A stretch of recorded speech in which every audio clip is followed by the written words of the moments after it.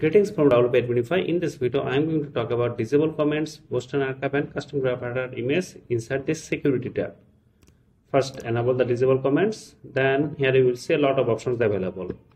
And it's actually time consuming if I show you each and every options.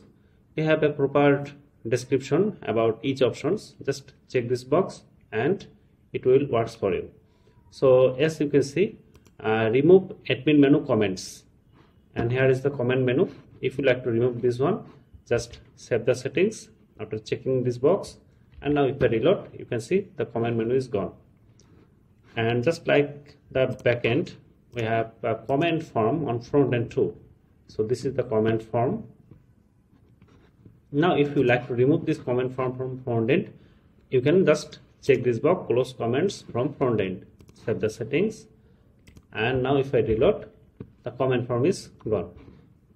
So that's the two feature i explained to you and i recommend you to go through all of this feature. As we have already explained each feature in details here and i hope you will understand them.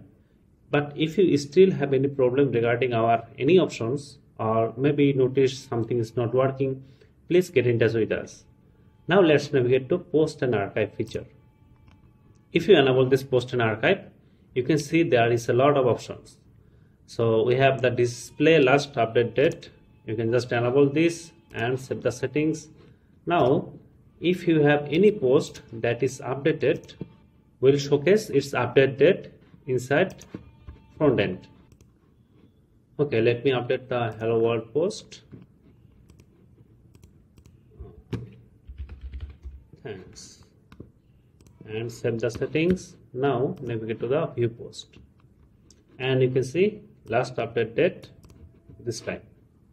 So this is how you can easily display your update date. And also we have the option to remove capital P dang it then redirect your different type of archive page to home page. If you think any archive page is irrelevant to you you can just redirect the archive pages to your home page. Then we have a custom gravatar image just enable this option and choose your media for your gravatar and select the name. Custom gravatar. And set the setting. This will be added inside your settings and discussion.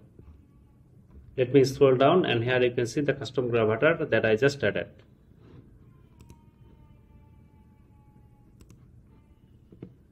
Let's navigate to our option panel and that's all about the custom gravatar post archive and disable comment and I highly recommend you to try all of these options and if you think there is any problem or you don't understand the option please get in touch with us and we'll try our best to assist you.